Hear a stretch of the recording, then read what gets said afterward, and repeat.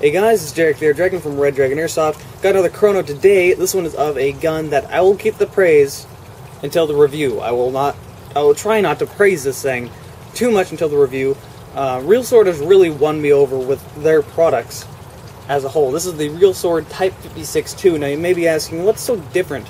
Why should you care? It's just another AK variant. this thing is, I'm going to go out on a limb and say this. I know a lot of people are probably going to try to flame me that haven't really picked up any real swords, AKs, or AK variants. Uh, but this AK's Real Sword easily makes the best AKs out of the market over VFC, over pretty much any other company. These things are amazing quality. This is built to be a real gun first, and then built to be an airsoft gun second. One to one scale, same quality, same exact material. This thing is absolutely amazing. It's quite a bit heavy too. But uh, this is going to be the chrono of the specific one using a 9.6 volt battery and 0.2 gram BBs. Uh, let's go ahead and get this thing ready. I'm going to be using a 600 round high cap magazine, comes with a gun.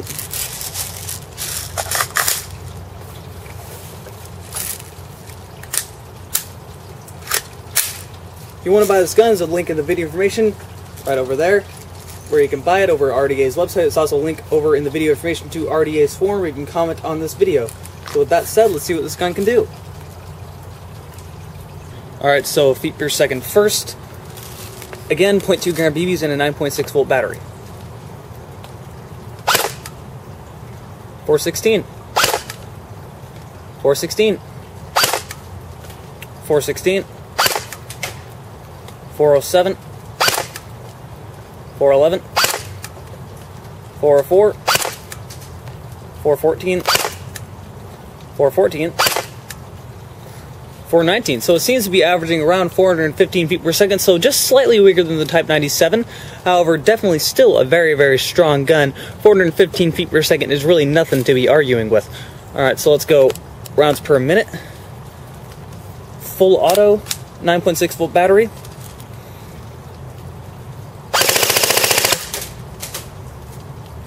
Eight hundred and fifty. 860 830 830 so it seems to be pretty consistent mid 800 range which is pretty dang good for pulling this hard of a spring. That's definitely nothing to be arguing with. So overall chrono 450 feet 415 feet per second and around 850 rounds a minute with a 9.6 volt battery and 0.2 gram BBs that's pretty dang good Alright, so we're zoomed in on the can for semi-automatic, and then full auto.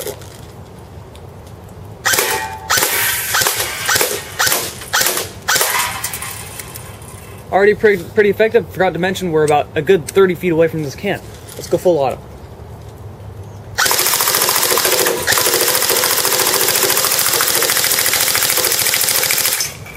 Alright, I think that's enough shooting. Killed it pretty quick. Alright, so the can is pretty dang, pretty chewed up. It's hanging on there really by one thread. Let me try to stretch this out here. This is like a can tried to play Twister with an airsoft gun. Didn't turn out well. but this happened pretty quick. I mean, it's definitely a strong gun. Decent rate of fire. Actually, pretty well, pretty good rate of fire for what it's pulling. And, uh, it's gonna hurt to be shot with that. Alright, so as you guys just saw, the performance of this gun is definitely, definitely matched by, or the quality of this gun as a whole and the externals is definitely matched and backed up by the internals being pretty high quality. And when I mean that, I mean extremely high quality. Um, like I said, externally, internally, quality is the only thing Real Sword is thinking with this. This thing's shooting about 415 feet per second and around 850 rounds a minute with a 9.6 volt battery and 0.2 gram BBs. That's pretty dang good. It's going to hurt pretty bad if you get shot with this thing. This is, again, like I said, Real Sword makes the best AK variants out of the market.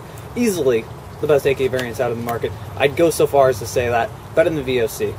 So that has been Red Dragon Airsoft's Chrono of the Real Sword Type 56 2.